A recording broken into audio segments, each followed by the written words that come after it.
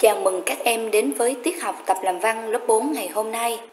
Trong tiết học trước, các em đã được luyện tập quan sát cây cối. Các em ạ, à, cây cối xung quanh chúng ta đều có những vẻ đẹp riêng. Để miêu tả được vẻ đẹp đó, ngoài việc quan sát tỉ mỉ, thì chúng ta cần phát hiện ra những nét riêng biệt trong từng bộ phận của cây.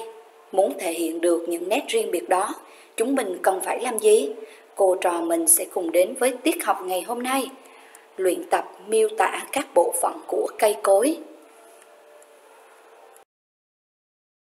Các em hãy đọc thầm hai đoạn văn cùng cô nhé.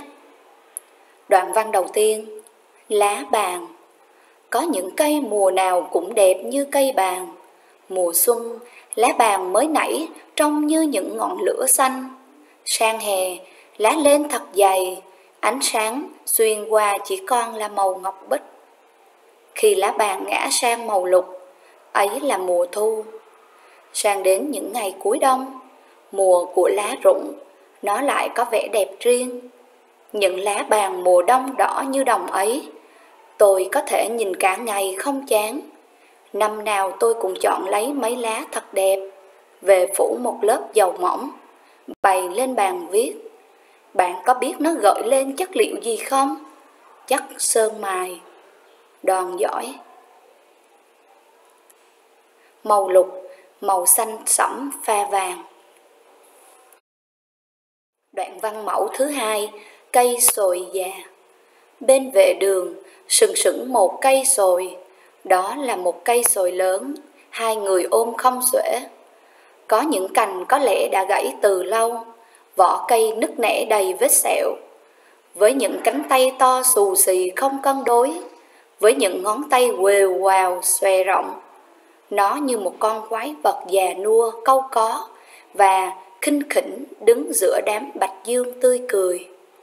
Bấy giờ là đầu tháng sáu, mới sau có một tháng, cây sồi già đã thay đổi hẳn, tỏa rộng thành vòm lá xum xuê xanh tốt thẫm màu, đang say sưa ngây ngất, khẽ đung đưa trong nắng chiều không còn thấy những ngón tay co quắp, những vết sẹo và vẻ ngờ vực, buồn rầu trước kia. Xuyên qua lớp vỏ cứng già hàng thế kỷ, những khóm lá non xanh tươi đã đâm thẳng ra ngoài. Thật khó lòng tin được, chính cây sồi già cằn cỗi kia đã sinh ra chùm lá non xanh mơn mởn ấy, theo Lev Tolstoy và các em vừa đọc hai đoạn văn tả về hai loài cây. Thì theo các em, cách tả của tác giả trong mỗi đoạn văn có gì đáng chú ý? Lời được câu hỏi này, các em hãy dựa vào những gợi ý sau. Thứ nhất, tác giả miêu tả bộ phận nào của cây. Thứ hai, tác giả miêu tả theo trình tự nào. Thứ ba, tìm những hình ảnh so sánh và nhân hóa có trong các đoạn văn. Và cuối cùng, những hình ảnh so sánh và nhân hóa có tác dụng gì? Tác giả đã miêu tả bộ phận nào của cây? À, rất là dễ hiểu vì ngay tựa bài đã nhắc tới. Đó chính là tả lá bàn.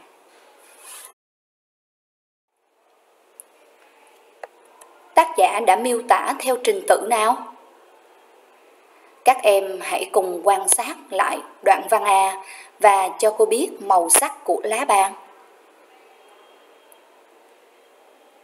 Dễ dàng nhìn thấy mùa xuân thì lá bàn như những ngọn lửa xanh và sang hè thì lá bàn là màu ngọc bích. Đến mùa thu thì lá bàn ngã sang màu lục và mùa đông thì lá bàn đỏ như đồng. Chính màu sắc của lá bàn đã cho ta biết.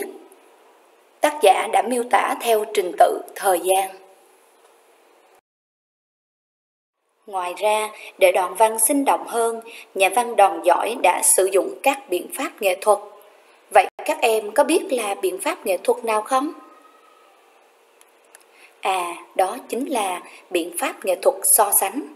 Bây giờ các em hãy lấy bút chì gạch những hình ảnh có sử dụng biện pháp nghệ thuật so sánh nào? cùng so sánh với đáp án của cô nhé. Nhà văn đoàn giỏi đã sử dụng nghệ thuật so sánh để so sánh những hình ảnh sau. Thứ nhất, mùa xuân, lá bàn mới nảy trông như những ngọn lửa xanh. Và hình ảnh so sánh thứ hai, những lá bàn mùa đông đỏ như đồng. Sử dụng biện pháp nghệ thuật so sánh kết hợp với những từ ngữ chỉ màu sắc gợi tả, gợi cảm đã khiến cho người đọc cảm nhận rõ được sự thay đổi rất là sinh động của lá bàn qua bốn mùa xuân, hạ, thu, đông. Và những cái màu sắc đó nếu chỉ cần phủ thêm một lớp màu thật mỏng thì sẽ khiến người ta liên tưởng tới chất liệu được dùng trong hội họa. Đó là chất sơn mài. Cây sồi già Nhà văn Lev Tolstoy đã miêu tả cây sồi như thế nào?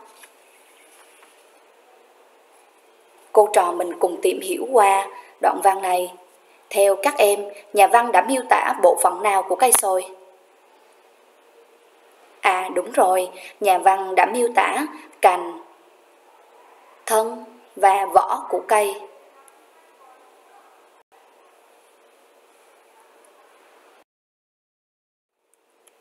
Các em hãy quan sát sự thay đổi của cây sồi. Từ một cây sồi nứt nẻ, đầy sẹo. Chi tiết này cho ta biết cây sồi vào lúc mùa đông. Và sang đến mùa xuân thì cây sồi khác hẳn. Cây sồi tỏa rộng thành vòm lá xum xuê, bừng dậy một sức sống bất ngờ. Sự thay đổi này của cây sồi cho ta biết được tác giả đã tả theo trình tự thời gian. Trong đoạn văn B, tác giả Lev Tolstoy đã sử dụng nghệ thuật nào?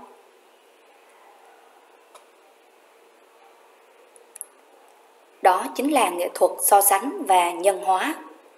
Tương tự như ở đoạn văn A, các em hãy dùng bút chì gạch những hình ảnh so sánh và nhân hóa nào.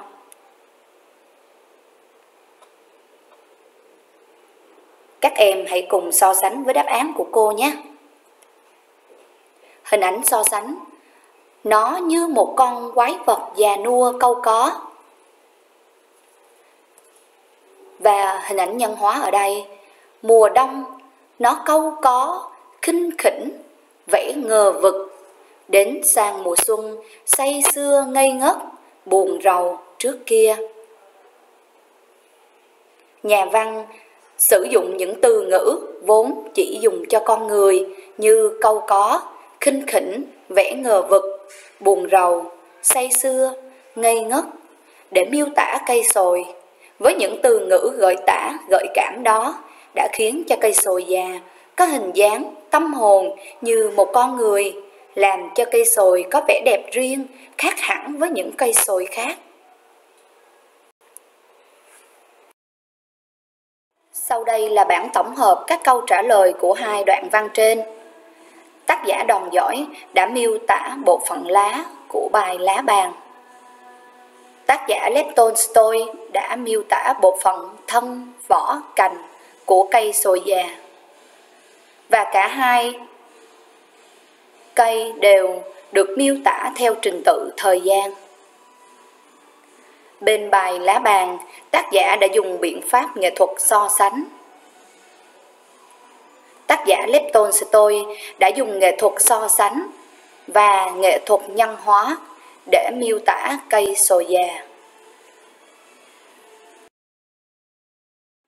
Theo các em, những hình ảnh so sánh và nhân hóa có tác dụng gì? À đúng rồi, những hình ảnh so sánh và nhân hóa có tác dụng nêu bật vẻ đẹp riêng của cây, khiến cho chúng trở nên gần gũi, thân thuộc với con người và làm cho bài văn thêm sinh động hơn. Như vậy, khi miêu tả các bộ phận của cây, các em cần lưu ý quan sát theo một trình tự hợp lý, sử dụng các giác quan khi quan sát và vận dụng các biện pháp so sánh, nhân hóa khi viết văn miêu tả sẽ có tác dụng làm cho sự vật được miêu tả trở nên cụ thể, gần gũi, sinh động hơn và như thế bài văn sẽ hay hơn, hấp dẫn hơn. Giờ chúng ta cùng sang phần 2. Em tập làm nhà văn.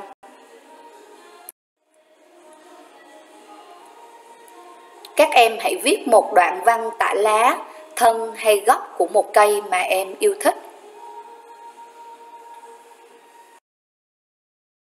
Cô tin rằng sau khi các em đọc nội dung bài sẽ tìm ngay cho mình được ý tưởng, nhưng để giúp các em viết đoạn văn dễ dàng hơn, cô mời các em quan sát một hình ảnh, một số hình ảnh thân cây, gốc cây và lá cây nhé. Bây giờ chúng ta sẽ cùng quan sát gốc cây đa gốc cây đào, cây mai và gốc cây si.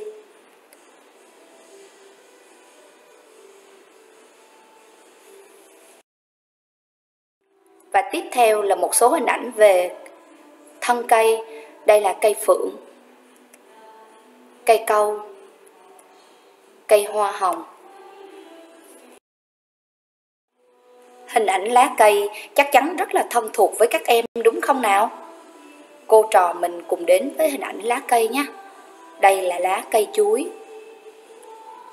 lá sen, lá cọ, lá dương sĩ.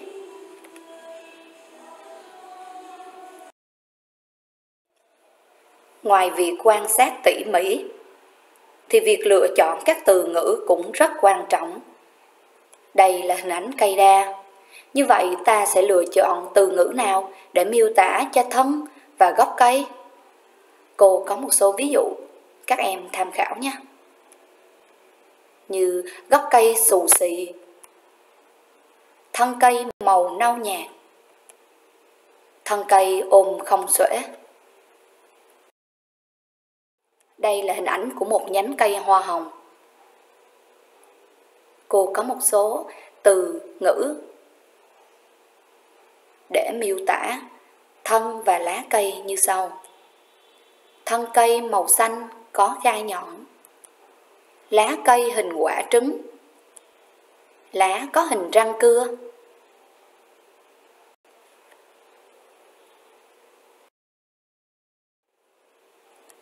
Và tiếp theo đây là hình ảnh của cây chuối. Như vậy để miêu tả thân và lá của cây, cô sẽ có một số ví dụ sau. Thân cây thô ráp hoặc là thân cây thẳng như cột nhà.